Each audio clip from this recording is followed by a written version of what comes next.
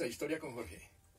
Hoy, en nuestro episodio de Mujeres Notables, hablaremos sobre la vida y obra de una dramaturga japonesa que vivió en los finales del siglo XVI y los albores del siglo XVII, Izumo Okuni.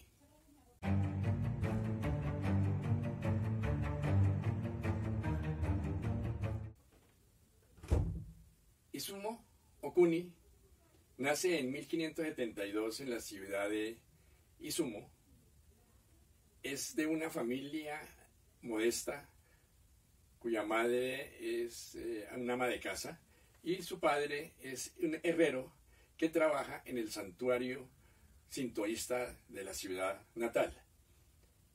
Allí, eh, Okuni que desde los primeros años eh, muestra una gran habilidad para el canto, para la danza y para la actuación, empieza a trabajar como sacerdotisa Miko, que son aquellas mujeres que han sido escogidas para ayudar en los santuarios de la religión sintoísta que es propia del Japón. Esta religión es una religión que eh, venera principalmente a sus dioses representados por los kami o kamis, que son los espíritus que están en todos los seres de la naturaleza y que además honra a los antepasados de una forma muy especial y a todas las figuras, o a todos mejor, los seres vivos de la naturaleza, abogando siempre porque haya paz y armonía en todos los entornos. En el santuario de su ciudad natal, que es el santuario de Izumo Tagachi, Okuni comienza a laborar principalmente en lo relacionado con danzas ceremoniales, con bailes, con eh, recibimiento de ofrendas y en la asistencia a los monjes del santuario, principalmente en los eventos relacionados con los matrimonios. También estos, estas sacerdotisas llamadas Miko son eh, o tienen unas interpretaciones eh, relacionadas con la adivinación, algo más o menos análogo a las profetisas occidentales que conocemos. Debido a que muy pronto empieza a sobresalir en sus danzas, en sus cantos y en todas sus ceremonias, es enviada a la ciudad de Kioto, una de las ciudades religiosas más grandes del Japón, donde hay infinidad de santuarios, y allí ella va a recibir una instrucción especial y también con el fin de que vaya a eh, elaborar eh, en una forma más refinada su actuación y lo relacionado a la danza y al canto. Allí conoce una serie de personas y especialmente unas mujeres marginadas e inadaptadas, algunas relacionadas con la prostitución, y ella las convoca y les comienza a enseñar todo lo relacionado con la danza, el canto y la actuación. Es así como en 1603 funda el Teatro Kabuki, que con el curso de los años se convirtió en uno, una de las representaciones culturales más importantes de los japoneses. Este teatro kabuki es un teatro que, a diferencia de otras de las formas eh, dramatúrgicas de la época, como es el teatro no, tiene unos, unas características muy especiales.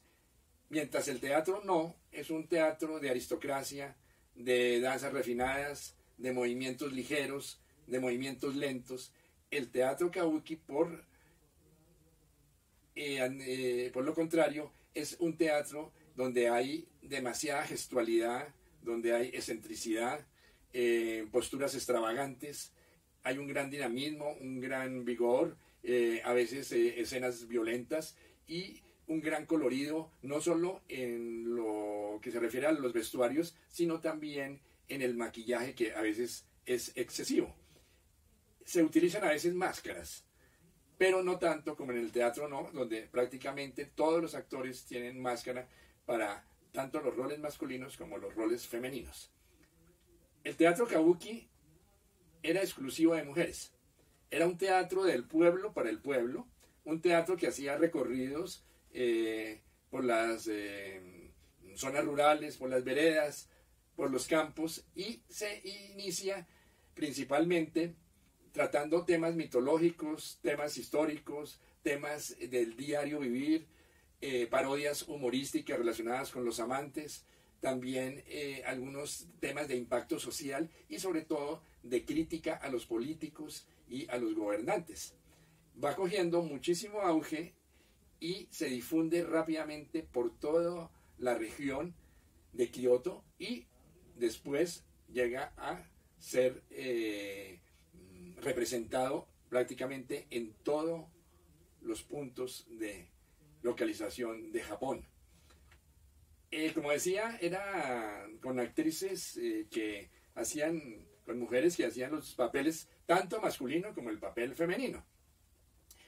En el papel, los papeles masculinos que representan a guerreros, a samuráis, a nobles, artesanos, eh, tienen un maquillaje muy especial para ello.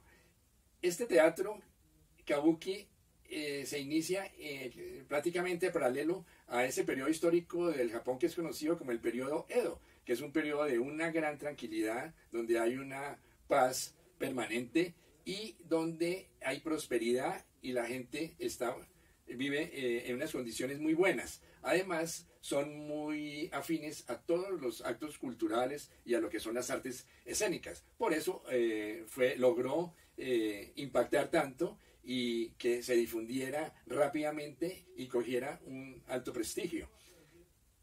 Este eh, periodo Edo es el periodo que dura más o menos unos 300 años y donde termina el último de los shogunatos. Recordemos que los shogunatos eran esos gobiernos que eran dirigidos por un shogun, que era un dictador militar que tenía grande, gran cantidad de tierras eh, y era un gobierno de, en una forma de sistema feudal donde tenía su grupo de eh, militares que eran, y de guerreros que eran los samuráis, que andaban siempre armados con sus katanas, y donde había unos siervos o campesinos que eran los que trabajaban la tierra y que ganaban un salario mínimo casi irrisorio, pero eran protegidos por el gran señor, por el shogun. El periodo Edo dura unos 300 años y durante todo este tiempo el eh, teatro sigue impactando y sigue eh, teniendo un gran prestigio. Eh, la dramaturga Kunai empieza a hacer innovaciones no solo en el vestuario, en el maquillaje, sino también en los elementos, los instrumentos musicales, en la música, en la coreografía, y eso va robusteciendo y dándole mayor calidad a las representaciones eh, dramatúrgicas del momento. Sin embargo, ella se retira de la actuación y del canto y lo que es la danza hacia em, a los pocos años, pero eh, eh, no se conoce mucho sobre los últimos años de su vida.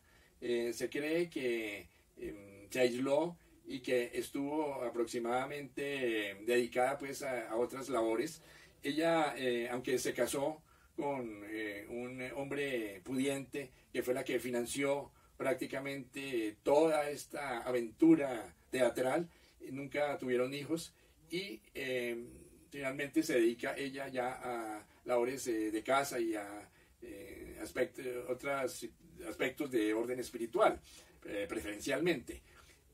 hay que anotar que este teatro que tenía unas actrices muy hermosas, se volvió siendo, eh, fue un verdadero fenómeno social hasta tal punto que cuando terminaban las obras los hombres se arremolinaban, eh, buscaban a las actrices, eh, les pedían favores de diferente índole y esto fue generando disputas, peleas, problemas del orden público y entonces las autoridades se vieron obligadas a prohibir que actrices estuvieran representando los papeles en el teatro.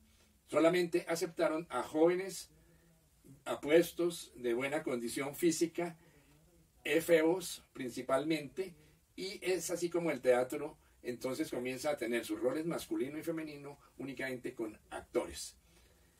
Sin embargo, como se dice coloquialmente, el remedio fue peor que la enfermedad, porque si antes eran los hombres los que creaban los disturbios, ahora empezaron las mujeres, atraídas por esos gallardos jóvenes apuestos de singular belleza, y comenzaron a disputarse, entre ellas los favores masculinos. Esto creó un caos que se iba volviendo prácticamente inmanejable. Entonces las autoridades volvieron a sentar cátedra y decidieron que no iba a haber jóvenes, sino ya hombres maduros entrados en canas y como digo yo, en arrugas. Esto llevó a la decadencia del teatro. Prácticamente se volvió infumable. Sin embargo, con los años cambiaron las cosas y la situación volvió a ser representada por jóvenes. Sin embargo, hoy en día, actualmente, sigue siendo un teatro donde solamente hay actores masculinos. Ya las actrices no, no participan. Estos actores masculinos se llaman onagata. Los onagata son hombres que se maquillan, que utilizan vestuarios femeninos, se disfrazan prácticamente como una especie de transvestismo y interpretan tanto los, los roles masculinos como los roles femeninos. Okuni muere más o menos hacia el año, entre los años 1611 y 1613, no hay una documentación exacta, y eh, eh, los biógrafos que han eh, resaltado su vida no se han puesto de acuerdo en cuanto a la fecha de su muerte. Ella deja un legado porque fue la creadora y fundadora del teatro kabuki, que es una verdadera máxima cultural del Japón. Ha sido declarado por la UNESCO, este teatro, como patrimonio cultural e inmaterial de la humanidad en el año de 2005 y cuando se cumplieron los 400 años de el teatro hacia, hacia el 2002 se erigió una estatua en Kioto que fue donde prácticamente más se representó se representaron estas escenas dramáticas queda cerca al río Kamo la estatua y también cerca a uno de los principales santuarios del sintoísmo que se encuentra ubicado en aquella región. Entonces, debemos destacar especialmente que Izumo Okuni fue una mujer notable que, gracias a sus grandes dotes del canto, de la danza y la actuación, logró crear una empresa maravillosa, fundando el Teatro Kabuki, que es un orgullo de los japoneses y patrimonio cultural de la humanidad. Muchas gracias. Hasta pronto.